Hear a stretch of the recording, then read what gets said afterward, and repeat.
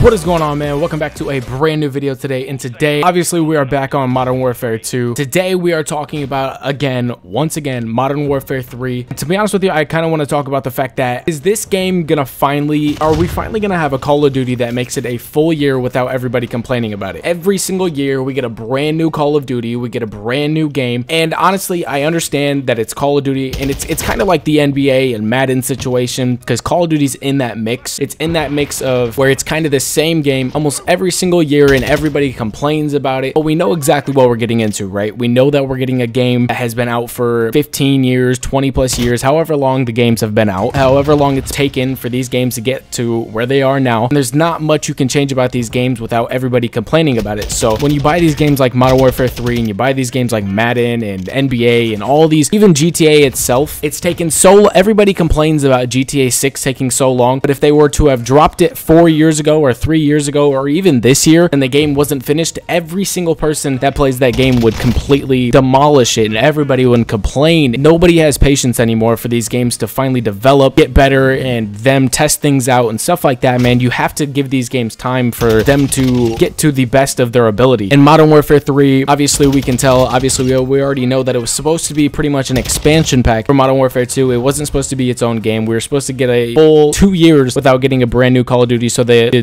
developers could work on a brand new game for that long amount of time or the duration of however long they've been going in the first place. There's always Call of Duties being made. Even right now, I believe they have their certain schedules. They have their set times for when they're supposed to release their own games and they have their own years, stuff like that. They're always being developed behind the scenes while new Call of Duties are already being pushed out. Honestly, I think I give this game maybe a month, maybe even a few weeks, maybe two months before everyone starts complaining about it. And then I honestly think that, I mean, a lot of people, I'm going to enjoy this game no matter what. I mean, it's Call of Duty no matter what. I mean, there's always going to be those things that come out in this game that nobody's going to like or everyone's going to like. Some people are going to like. It's it's always going to be different for every other person that plays this game. This happens every single year where we get hyped up for the Call of Duty, we get hyped up for the game, and then they drop it and everybody complains the second everything comes out. You have to give these games time. You have to give the developers time to actually react to the feedback and put in the work to change the things that they need to change for the game to be great. So that brings me, what do the developers have to make or what do the so that brings me to the fact that what do the developers have to do to satisfy the Call of Duty community? They have to listen to feedback. They have to go out there. They have to release this game. They have to give it a few weeks. And once the feedback and stuff like that comes out, and make sure it's a majority, make sure it's a majority decision of everybody in the community. If if it's do not just please do not just listen to huge creators. Do not do that because the fact that the creators are going to make their money no matter what they want, they're going to make their money and they're going to do whatever they're going to do. So just listen to the actual community, listen to feedback, and actually act on it. Do not just sit there like the one that we just got. Everybody complained for weeks upon weeks, and even the even the creators at Next, they just didn't react. Once they gave feedback, the developers just said, "Screw this, we're not doing anything about it." And even the creators themselves said blatantly that the developers just did not listen. They did not listen to a single thing that they said. They did not change anything. They did not take the feedback well. So we're hoping Sledgehammer Games this year, once the feedback comes, even if even if it's really good, like just react to it. You have to go out there and give the community what they want. You're I mean, you're to make your money no matter what you do. So why not just take that next step and help the community themselves? Another big thing about the Call of Duties and stuff like that and Warzone itself is to be a big thing here for this, but hackers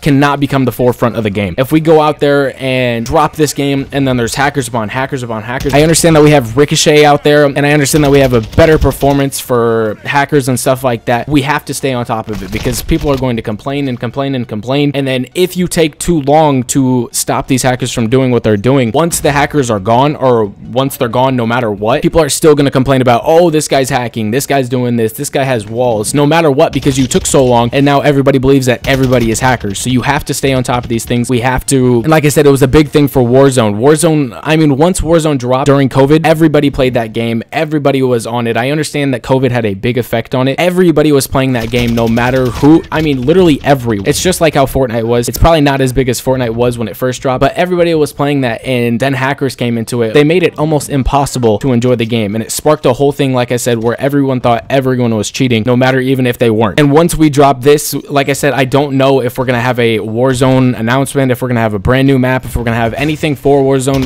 Warzone hasn't even been in the question yet. So again, like I said, I have no clue. But like Modern Warfare 19, are we going to have to have Warzone take over the Call of Duty space again to make Call of Duty great? Are we going to have to go to Warzone? Are we going to have to have a huge part of the fan base of Call of Duty leave Modern Warfare 3 itself and go to Warzone because the game just isn't as good as Warzone itself? Modern Warfare 2019, like I said, became stale and everyone went to Warzone and constantly played that. I mean, Twitch itself even made like a legit brand new browsing feature on it because of Warzone. I understand that it was separate, but literally Warzone had like 150,000 viewers on it at one point and there was like 20,000 people on literally just Twitch itself. That's just Twitch.